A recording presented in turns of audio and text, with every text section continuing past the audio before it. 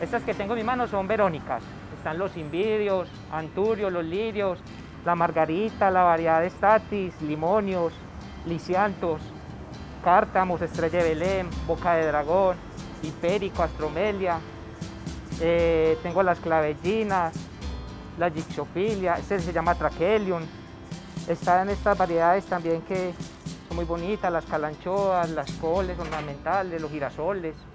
Aquí pues se encuentra gran variedad, los claveles, rosas. El conocimiento que Juan Pablo Sánchez tiene de las flores no es solo porque lleva 12 años en la mota con su negocio de floristería, sino también porque su relación con las flores es el legado de sus abuelos y padres. Juan Pablo nació en el corregimiento de Santa Elena y creció con herencia silletera, participando incluso en los tradicionales desfiles de silleteros. En un comienzo mi mamá se retiró pues ya cansada de, de la labor pues. Empecé yo y desfilé 10 años.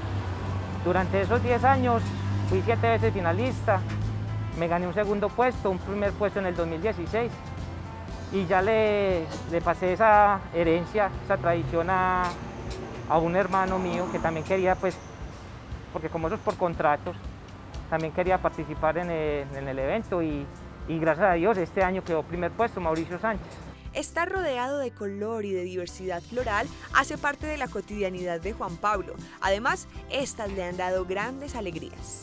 Las flores me han traído muchas bendiciones. Eh, tengo mi familia, gracias a ellas también, mi casa, todo. Se lo debo a las flores. Yo no, yo no he trabajado nada diferente al tema de las flores. El barrio La Mota florece gracias a su arborización, pero también gracias a su gente.